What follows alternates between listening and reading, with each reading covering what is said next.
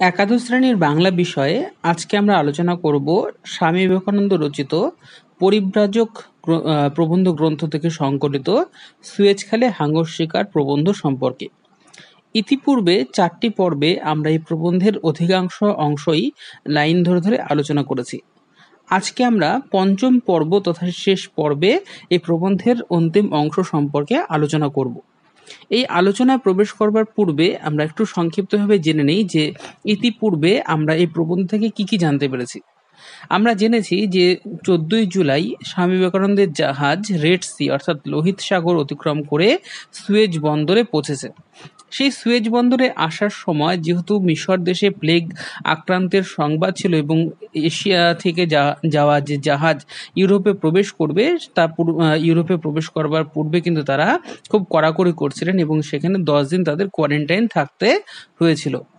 এবং সেই দশ দিন অতিক্রান্ত হওয়ার পর, যেহেতু জাহাজে কারোর কোনো প্লেগ রোগ আক্রান্ত হওয়ার কোনো সংবাদ ছিল না, তাই তারা অনায়াসেই পরবর্তী যে বন্দর, মার্সে বন্দর, তার উদ্দেশ্যে কিন্তু যাত্রা শুরু করতে পারতেন।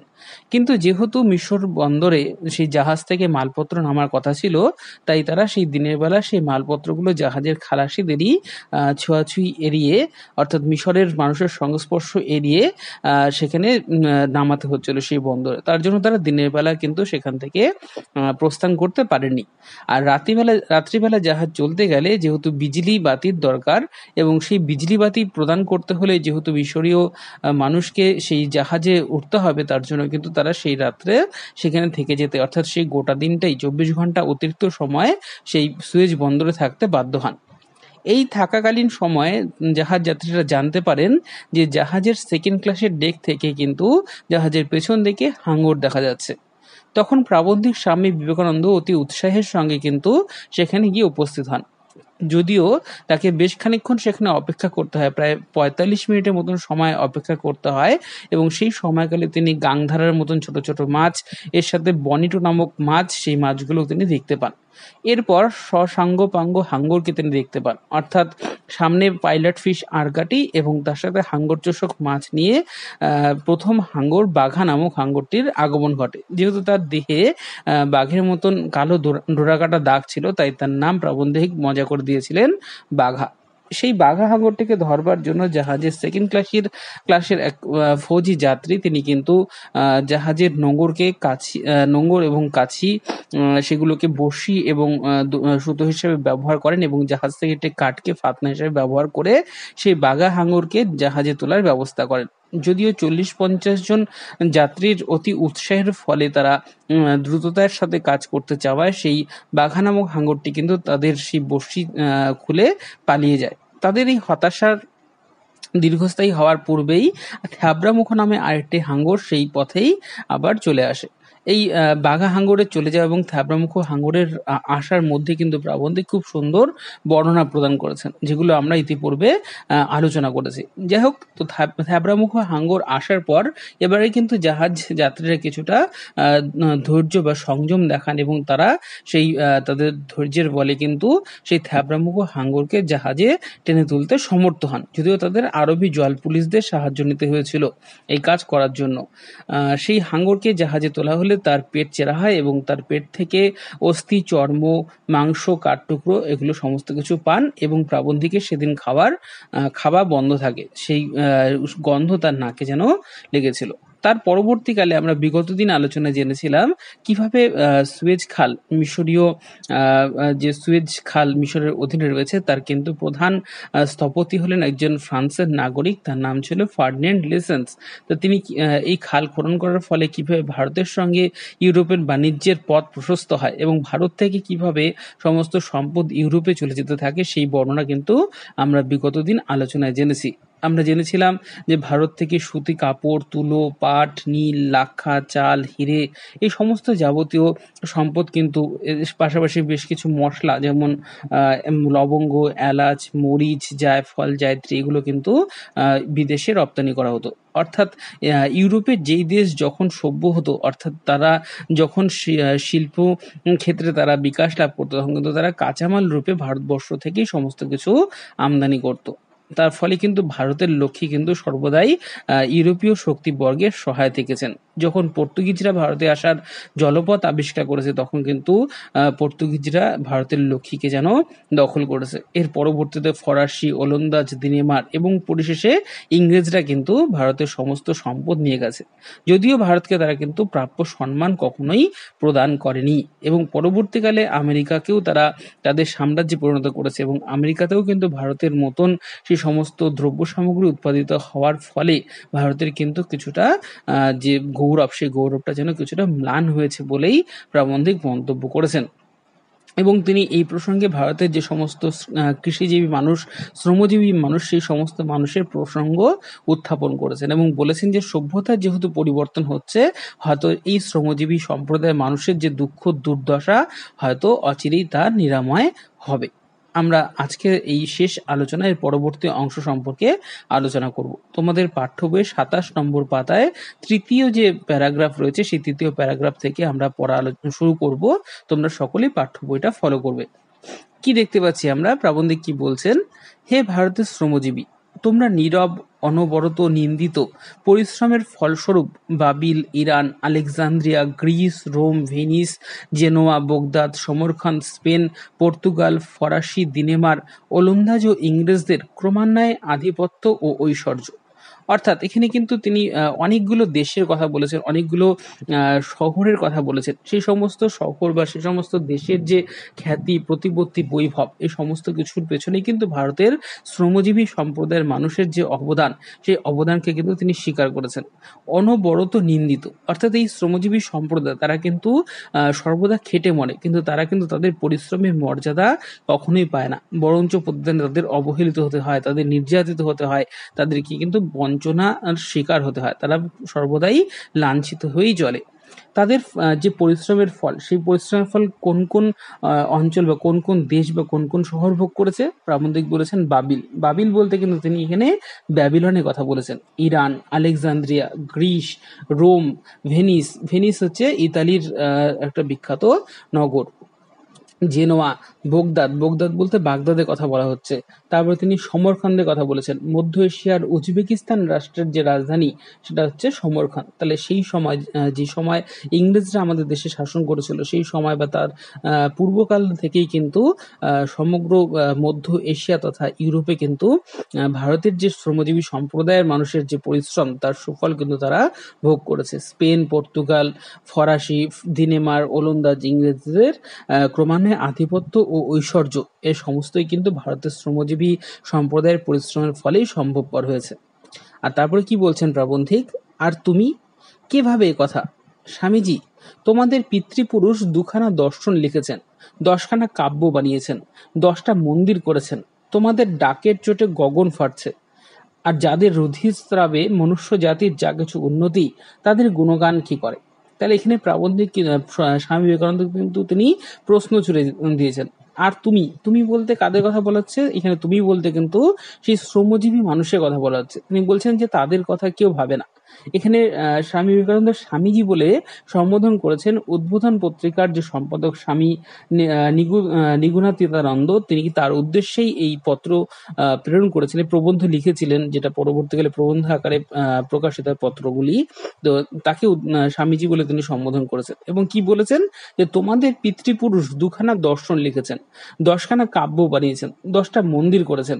তোমাদের ডাকের চোটে গগন ফাটছে। অর্থাৎ এই শ্রমজীবী মানুষদের কথা কিন্তু সেভাবে কখনোই আমাদের যে ইতিহাস, সেই ইতিহাসে কিন্তু কখনোই বলা হয়নি। পূর্বপুরুষরা তাদের দর্শন শাস্ত্র, সাহিত্য, হুম, এই সমস্ত ক্ষেত্রে কিন্তু তারা বড় বড় খালি গুণগানই করেছেন। তাদের যে গর্জন, সেই গর্জনে যেন গগন ফেটে গিয়েছে। কিন্তু প্রকৃত শ্রমজীবী মানুষদের কথা, তাদের যে দুঃখ, দুর্দশা, বঞ্চনার কথা কিন্তু কোথাও লেখা হয়নি।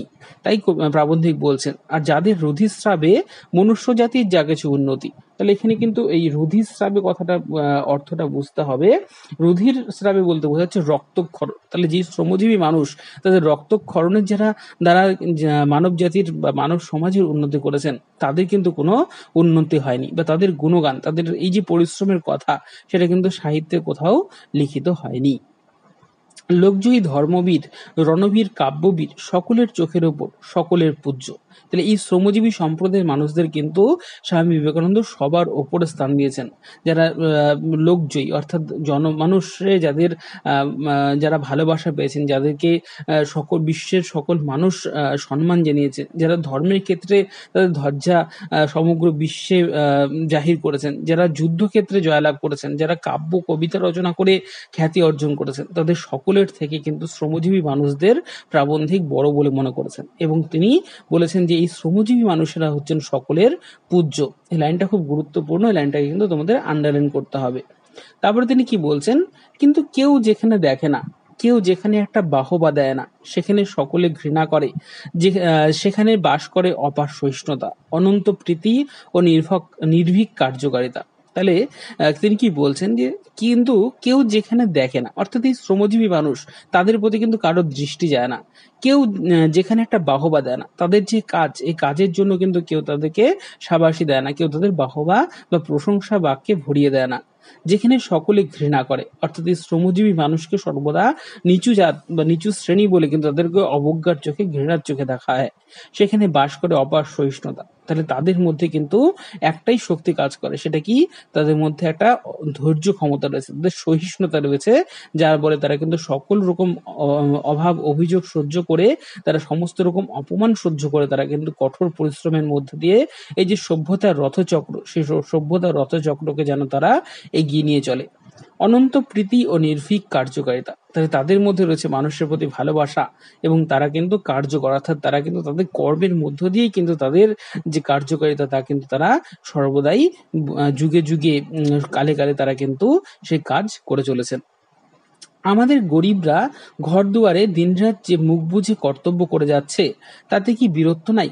তাহলে প্রাবন্ধিক প্রশ্ন ছুড়ে দিয়েছেন যে যারা যে সমস্ত যোদ্ধারা যুদ্ধক্ষেত্রে যুদ্ধরত অবস্থায় থাকেন তাদের আমরা বীর বলি। কিন্তু এই শ্রমজীবী মানুষ, তারাও কিন্তু যুগে যুগে, কালে কালে তারাও কিন্তু মুখ বুঝে সমস্ত কর্তব্য পালন করে যাচ্ছে। তাহলে তাদের কিন্তু বীরত্ব কোনো অংশে কম নয়।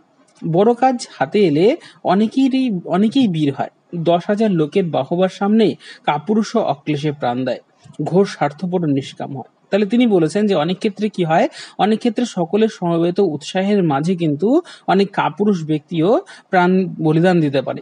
আবার অনেক ক্ষেত্রে স্বার্থপর মানুষও হয়তো লোক দেখানোর জন্য অনেক ক্ষেত্রে তাদের স্বার্থকে ছেড়ে দিতে পারে। কিন্তু তার মধ্যেও কিন্তু তাদের স্বার্থ লুকিয়ে থাকে। কিন্তু অতি ক্ষুদ্র কার্যে সকলের অজান্তেও যিনি সেই নিঃস্বার্থতা কর্তব্য পরায়ণতা দেখান, তিনিই ধন্য।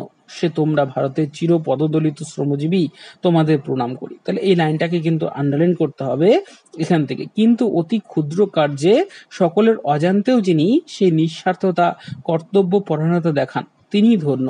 সে তোমরা ভারতের চিরপদ দলিত শ্রমজীবী তোমাদের প্রণাম করি। তাহলে প্রাবন্ধিক কি বলেছেন?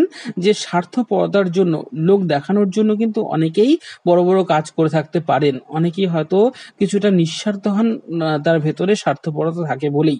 কিন্তু এই যে শ্রমজীবী মানুষ, তারা কিন্তু নিঃস্বার্থভাবে কোনো প্রচারের আলোর মধ্যে না এসে তারা কিন্তু তাদের কর্ম বা তাদের কার্য, কার্যাবলী তারা কিন্তু পরিচালনা করে চলেছেন। তারা কিন্তু কখনোই তাদের কাজের জন্য কোনো প্রশংসা বাক্য বা কখনোই তাদের কাজের জন্য কোনো বাহবা বা কখনোই তাদের কাজের জন্য কোনো স্বার্থ আশা করেননি। তারা কিন্তু সর্বদা সমাজের উচ্চ শ্রেণির দ্বারা পদদলিত হয়েই চলেছেন। তবু কিন্তু তারা তাদের কর্ম পরিচালনা করে চলেছেন। তাই প্রাবন্ধিক তাদের প্রতি তার সম্মান বা প্রণাম জানিয়েছেন। এবারে আমরা তার পরবর্তী প্যারাগ্রাফে চলে আসি, প্যারাতে চলে আসি। প্রাবন্ধিক কি বলছেন? এ সুয়েজ খালও অতি প্রাচীন জিনিস। তাহলে যে সুয়েজ বন্দরে তিনি অবস্থান করছিলেন, এবার সেই সুয়েজ বন্দরের প্রসঙ্গে তিনি বলছেন যে সুয়েজ খালটাও কিন্তু অনেকদিন আগেই খনন করা হয়েছে। প্রাচীন মিশরের ফেরো বাদশাহের সময় কতকগুলি লবণাম্ব জলা খাতের দ্বারা সংযুক্ত করে উভয় সমুদ্র স্পর্শী এক খাত তৈরি হয়। তাহলে যখন মিশরে ফেরোবাদ শাহ শাসন করতেন, ঠিক সেই সময় কি করা হয়েছিল? লবণাম্ব, জলাখাত, কিছু খাত জলাভূমি ছিল, নিচু জমি ছিল, সেই খাতগুলিকে সংযুক্ত করে কিন্তু এই যে সুয়েজ খাল, সেই সুয়েজ খাল কিন্তু তৈরি করা হয়েছিল। মিশরের রোম সাম্রাজ্যের শাসনকালেও মধ্যে ওই খাত মুক্ত রাখবার চেষ্টা হয়। তাহলে মিশর সাম্রাজ্যের অধীনে যখন সেই অঞ্চলটা ছিল, সেই সময় কিন্তু তারা প্রচেষ্টা করেছিলেন যে এই খালটা যাতে তাদের যে সাম্রাজ্য, সেই সাম্রাজ্যের থেকে মুক্ত অবস্থায় থাকে। পরে মুসলমান সেনাপতি অমরু মিশর বিজয় করে ওই খাতের বালুকা উদ্ধার ও অঙ্গ প্রত্যঙ্গ বদলে এক নতুন প্রকার নতুন করে তোলেন। এক প্রকার নতুন করে তোলেন। তাহলে এই যে সুয়েজ খালেকে নবরূপ নবরূপকে প্রদান করেছেন বা নবরূপের রূপায়ণ কে করেছেন, তিনি হচ্ছেন সেনাপতি ওমরু। তিনি যখন মিশর জয় করেছিলেন, মিশর জয় করে কিন্তু তিনি এই খাতের এক নব সংস্কার করেন এবং তারপর থেকেই কিন্তু এই যে মিশর মিশরের যে সুয়েজ খাল, সেই সুয়েজ খালের মাধ্যমে কিন্তু এই যোগাযোগ ব্যবস্থা এতটা উন্নতি লাভ করে। এর পরবর্তীতে আমরা আঠাশ পাতায় আলোচনা চলে আসব, পরের পাতায় আমরা কি দেখব? পরবর্তী প্যারাগ্রাফে প্রাবন্ধিক বলছেন তারপর বড় কেউ কিছু করেননি। অর্থাৎ ওই যে অমরু যে সংস্কার করেছিলেন, সেই সংস্কারের পরবর্তীতে কিন্তু আর বড় কোনো সংস্কার সাধিত হয়নি। তুরস্ক সুলতানের প্রতিনিধি মিশর খেদিব ইসমাইল ফরাসিদের পরামর্শে অধিকাংশ ফরাসি অর্থে এই খাত খনন করা তাহলে পরবর্তীকালে এই খাত খনন করার ক্ষেত্রে কিন্তু আমরা দেখতে পাচ্ছি যে ফরাসিদের যে অর্থ সাহায্য, সেই অর্থ সাহায্য তুরস্কের সুলতানের প্রতিনিধি তিনি কিন্তু গ্রহণ করেছিলেন। এখানে মুশকিল হচ্ছে যে মরুভূমির মধ্য দিয়ে যাবার দরুন পুনঃ পুনঃ বালিতে ভরে যায়। তাহলে আমরা জানি মরুভূমিতে বালুরাশি থাকে এবং সেখানে যখন মরু ঝড় বা হাওয়া বয়, প্রবল বাতাস বয়, তখন কি হয়? সেই মরুভূমির বালি এসে সেই যে সুয়েজ খালের যে নিচু খাল, সেই খালকে কিন্তু অনেক ক্ষেত্রেই ভরাট করে দেয়। তার ফলে কিন্তু সেখান দিয়ে জাহাজ যে যাতায়াত, সেই যাতায়াত ব্যাহত হয়। এই খাতের মধ্যে বড় বাণিজ্য জাহাজ একখানি একবারে যেতে পারে। তাহলে এই খাতটা কিন্তু খুব একটা বেশি প্রশস্ত নয়। তার ফলে যে বড় বাণিজ্য যে জাহাজ, সেই জাহাজ কিন্তু একটার বেশি দুটো একবারে যেতে পারে না। তো প্রাবন্ধিক কি বলছেন? শুনেছি যে অতি বৃহৎ রণতরী বা বাণিজ্য জাহাজ একেবারে যেতে পারে না। তাহলে যদি খুব বড় রণতরী বা বাণিজ্য জাহাজ হয়, তাহলে কিন্তু সেটা এই সুয়েজ খাল দিয়ে অতিক্রম করতে পারে না। এখন একখানি জাহাজ যাচ্ছে আরও একখানি আসছে।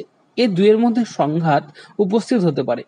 তার মানে কি যে যদি একটা জাহাজ দুটো জাহাজ পরস্পর বিপরীতমুখী দিক থেকে আসে, তাহলে কিন্তু দুটো জাহাজ একে অপরকে অতিক্রম করতে পারবে না। তার ফলে তাদের মধ্যে একটা কিন্তু সংঘাত উপস্থিত হতে পারে। তাহলে এই পরিস্থিতির জন্য কি করা হচ্ছে?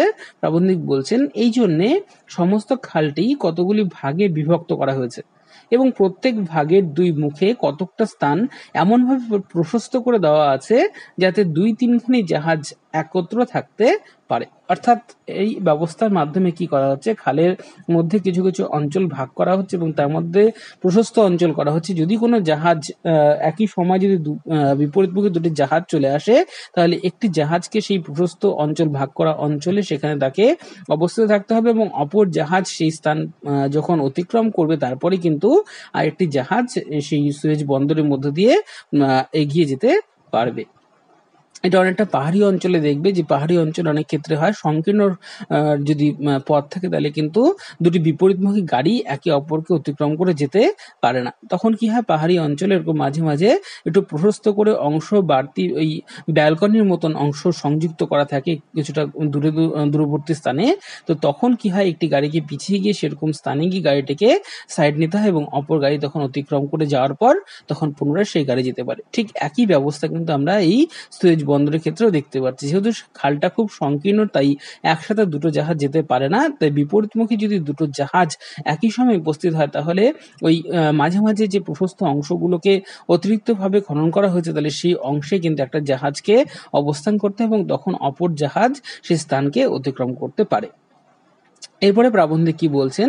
ভূমধ্য সাগর মুখে প্রধান অফিস আর প্রত্যেক বিভাগেই রেল স্টেশনের মতো স্টেশন। তাহলে এখান থেকে কিন্তু ছোট প্রশ্ন আসে যে এই যে সুয়েজ বন্দর, তার প্রধান অফিস কোথায়? তার বলতে হবে ভূমধ্য সাগরের মুখে এই সুয়েজ বন্দরের প্রধান অফিস আর প্রত্যেক বিভাগেই রেল স্টেশনের মতো স্টেশন। তাহলে রেলের যেরকম স্টেশন থাকে, যেখানে ট্রেন দাঁড়ায়, ঠিক তেমনি ওই যে ছোট ছোট অঞ্চলে ভাগে বিভক্ত করা হয়েছে সুয়েজ খালের এই সরু সংকীর্ণ পথকে। তাহলে সেই প্রত্যেকটা বিভাগেই কিন্তু তাদের একটা করে স্টেশন আছে। সেই প্রধান আফিসে জাহাজটি খালে প্রবেশ করা মাত্রই ক্রমাগত তারে খবর যেতে থাকে। তারে মানে কি? এখানে টেলিগ্রাম, টেলিগ্রাফের কথা বলা হচ্ছে। তাহলে তার মাধ্যমে কি হয়? এক- একটা স্টেশন থেকে আরেকটা স্টেশনে এবং প্রধান স্টেশনে খবর যায়। কখনই আসছে, কখনই যাচ্ছে। কখনই বলতে কি বোঝা হচ্ছে? জাহাজের কথা, যে কয়টি জাহাজ আসছে, কয়টি যাচ্ছে। এবং প্রতি মুহূর্তে তারা কি কোথায়? তা খবর যাচ্ছে। তাহলে ঠিক যেরকম ট্রেন চলাচল করলে যেমন হয় যে ট্রেন কোন স্টেশন ছাড়লো, কোন স্টেশনে পৌঁছলো, তা একটা স্টেশন থেকে অপর স্টেশনে খবর চলে যায়, ঠিক তেমনি এই জাহাজগুলোর ক্ষেত্রেও হয়। যেহেতু সংকীর্ণ একটা পথ ধরেই তারা যাতায়াত করতে হয়, তাই তাদের আগাম খবর একটা স্টেশন থেকে আরেকটা স্টেশনে চলে যায়, যাতে করে কখনোই সংঘর্ষের সৃষ্টি না হয়। এবং একটি বড় নকশার ওপর চিহ্নিত হচ্ছে। তাহলে নকশার উপর কি চিহ্নিত হয়েছে যে কোন জাহাজ আসছে এবং কোন জাহাজ যাচ্ছে এবং কোন জাহাজ কোথায় অবস্থান করছে? এটা অনেকটা ওই বিমান ঘাটিতে যে বিমান কর্তৃপক্ষের কাছে যে রেডার ব্যবস্থা থাকে, তার মাধ্যমে তারা দেখতে পারেন যে কোন বিমান আকাশপথে কোথায় অবস্থান করছে এবং কোন বিমান কতটা উচ্চতায় উঠছে, সেই সমস্ত বিষয়গুলো যেমন তারা জানতে পারেন, এখানে যেন ঠিক তেমন ভাবেই তারা ব্যবস্থা করেছে। একখানির সামনে যদি আরেকখানি আসে, এজন্য এক স্টেশনের হুকুম না পেলে আরেক স্টেশন পর্যন্ত জাহাজ যেতে পায় না। এটা খুবই স্বাভাবিক, যেহেতু সংকীর্ণ পথ, তাই একটা স্টেশন থেকে আরেকটা স্টেশনে যখন জাহাজ পৌঁছায়, তখনই সেই স্টেশন থেকে অপর একটি জাহাজকে বিপরীত মুখে ছাড়া হয়। এইভাবেই কিন্তু তারা এই সংকীর্ণ সরু পথে কিন্তু তারা জাহাজ ব্যবস্থাটাকে যাতায়াতের মাধ্যম রূপে বজায় রেখেছেন। একদম প্রবন্ধের শেষ অংশে এবার আমরা চলে আসছি। প্রবন্ধে কি বলছেন? এই সুয়েজ খাল ফরাসিদের হাতে। তাহলে সুয়েজ খালের অবস্থান কিন্তু মিশরীয় যে সীমানা, তার মধ্যে হলেও এই সুয়েজ খাল কিন্তু ফরাসিদের হাতে। কেন? কারণ তারাই অর্থের মাধ্যমে কিন্তু সেই খালকে খনন করেছেন। আমরা ইতিপূর্বে জানতে পেরেছি। যদিও খাল কোম্পানির অধিকাংশ শেয়ার এখন ইংরেজদের। তাহলে ইংরেজরা, তারা কিন্তু তাদের ঐশ্বর্যের বলে, তারা কিন্তু তাদের সাম্রাজ্য বিস্তারের বলে এই শেয়ার কিন্তু, এই খালের অধিকার সত্ত্বেও কিন্তু তারা অধিকাংশই ফরাসিদের থেকে নিয়ে নিয়েছে। তথাপি সমস্ত কার্য ফরাসিরা করে, এটি রাজনৈতিক মীমাংসা।